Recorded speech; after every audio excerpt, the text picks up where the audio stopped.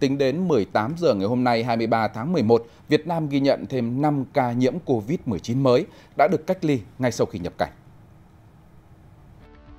Tính đến 18 giờ ngày 23 tháng 11, Việt Nam ghi nhận thêm 5 ca mắc COVID-19 mới đã được cách ly ngay sau khi nhập cảnh. Trong ngày có thêm 9 bệnh nhân được công bố khỏi bệnh.